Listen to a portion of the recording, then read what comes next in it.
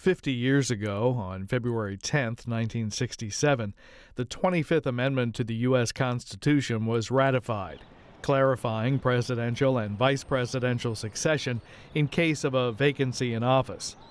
Here's a segment from an American Artifacts program recorded in the National Archives.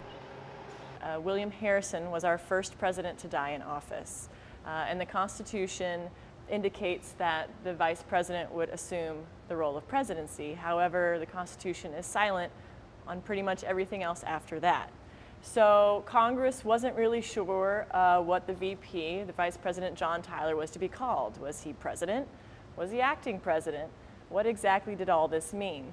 Um, it's a question that lingered on until the late uh, half of the 20th century. It wasn't until um, John F. Kennedy, President Kennedy, was assassinated and Lyndon B. Johnson stepped up to become president that uh, enough support was galvanized to really answer this. Um, over the course of that time, from 1841 till the 25th Amendment was ratified, if you combine the years where we had no vice president, um, you, you would get to 38 years that we had no vice president. Um, so the 25th Amendment was ratified, and uh, thank goodness, because it wasn't long after, that we now have um, President Nixon and Vice President Spiro Agnew in office. Spiro Agnew resigns. President Nixon uses the 25th Amendment to appoint a vice president. He ended up appointing uh, Gerald Ford.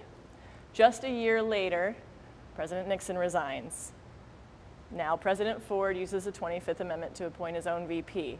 However, if the 25th Amendment had not existed, there would have been a huge political crisis on our hands.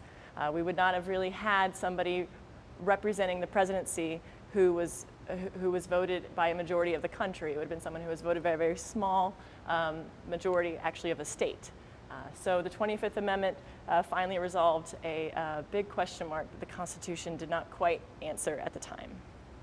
This is a motion to amend the resolution to strike out uh, president and insert vice president now exercising the office of president. So this is what was submitted after William Harrison, President Harrison died in office and Vice President John Taylor took office. Um, this is a photo of Lyndon B. Johnson aboard Air Force One taking the oath of office to become President of the United States.